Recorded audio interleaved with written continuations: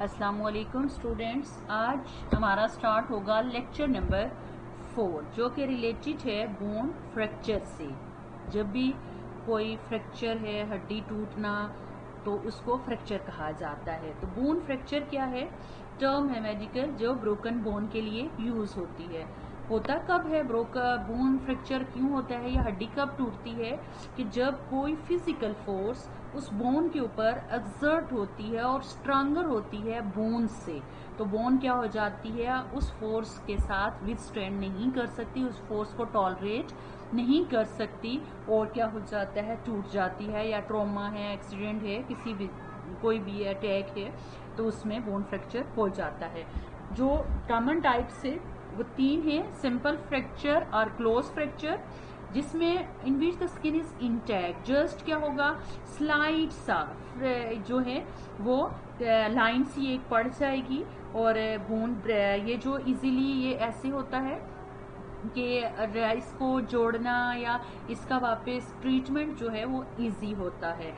फिर अगर कोई इस तरह है फ्रैक्चर कि वो बोन को पेनिट्रेट कर बोन पेनिट्रेट करती है स्किन के अंदर और जख्म बन जाता है तो उसको कहा जाता है कंपाउंड फ्रैक्चर कहा जाता है। और जो फ्रैक्चर एडजेसेंट ऑर्गन्स को डैमेज करे तो उसको कहा जाता है कॉम्प्लिकेटेड फ्रैक्चर कहा जाता है। फिर उसके बाद जब फ्रैक्चर हो जाता है तो उसके बाद हम बात करते हैं कि ये जो फ्रैक्चर है, वो रिपेयर कैसे होता है बून जो है, वो रिपेयर कैसे होती है। तो हमने पीछे पढ़ा था बच्चे कि बोन के अंदर क्या होते हैं? थ्री टाइप्स ऑफ़ सेल्स होते हैं।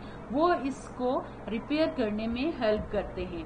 बोन क्या है? लिविंग टिश्यू है, जो जिसमें रिपेयर होता है फ्रैक्चर रिपेयर होता है रिपेयर प्रोसेस जो है सिंपल फ्रैक्चर है, उसमें फोर मेजर स्टेप्स होते हैं। सबसे पहले हेमाटोमा आर क्लॉट फॉर्मेशन ठीक है हेमाटोमा मीन क्या है? कि जब ब्लड की लीकेज होती है तो उस जगह पे क्लॉट सा बन जाता है।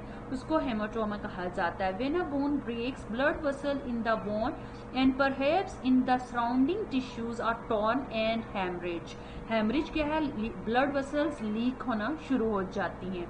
तो उसकी वजह से क्या होता है? हेमोचोमा बनता है mass mass of clotted blood form at the fracture site अब देखिए कोई भी फ्रैक्चर है कट लगता है तो वहाँ पे भी ब्लड लीकेज होती है और उसके बाद वहाँ पे हेमाटोमा क्लॉट फॉर्मेशन हो जाती है।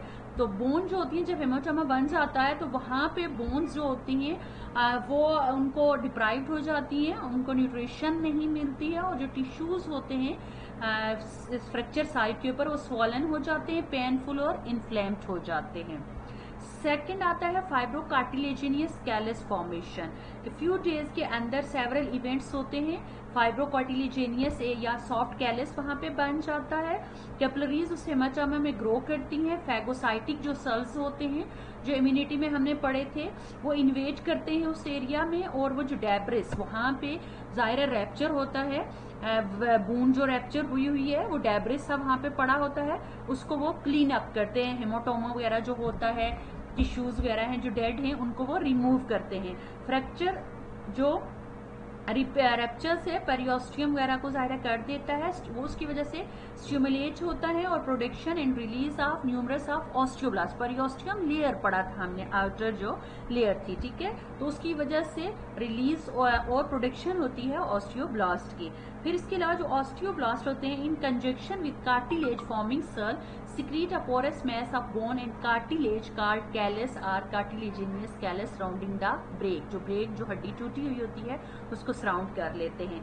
Callus replace the original blood clots and hold the end of the bone together this process takes three to four weeks उसके बाद आ जाता है नेक्स्ट जो है, वो आ जाता है बोन रिपेयर में बोनी कैलस फॉर्मेशन और callus ossification Within a week after the formation of soft callus, it is gradually converted into a hard bony callus of spongy bones. Bony callus formation continue until a firm union is formed about two months later.